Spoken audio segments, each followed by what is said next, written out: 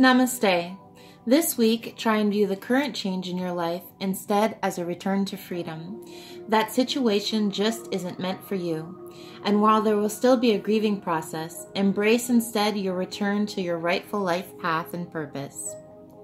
It's rarely easy to let go, but if you try to look ahead instead of backwards, you'll notice the loss will be a lot easier to bear.